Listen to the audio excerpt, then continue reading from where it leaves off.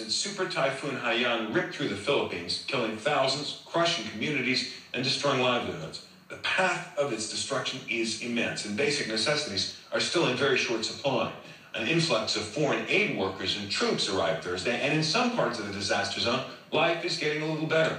Elsewhere, there's growing frustration, even panic, along with scattered reports of violence, including gunfire, robberies, and rapes.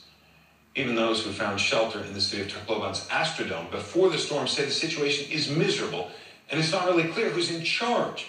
Michael Delaney is the Director of Humanitarian Assistance for Oxfam America, who joins us now from Boston. Thanks so much for being with us. Uh, let me be very frank. By all accounts, the emergency relief effort is going badly. A lot of people are surprised. Are you?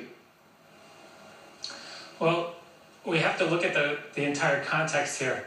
Uh, the Philippines is a poor country to start with, and putting on top of that uh, the most severe storm that uh, we've seen in, in, recorded history, that hitting land and really um, creating a, a, devastating situation. Some of our, our, reports that, that our team have seen, um, experienced people have seen things that they have not seen before.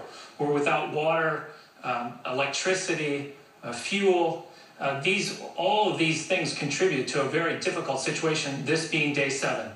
Now, you say day seven. It has been a week. We are hearing um, pledges of hundreds of millions of dollars. The U.S. has moved an aircraft carrier in. The United Kingdom is moving an aircraft carrier in. Aid agencies like your own are, are moving people into position. Uh, why doesn't this start succeeding faster?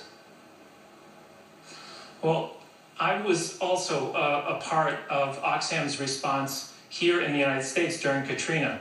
And I can assure you that day seven in, in the United States, there were communities that were insecure and also had not received aid.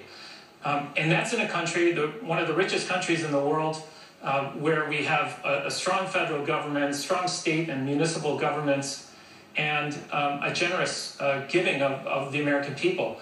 Uh, this storm is on an, an impoverished area um, with a um, uh, that has been utterly flattened, and so these are factors contributing to uh, the uh, where we are today.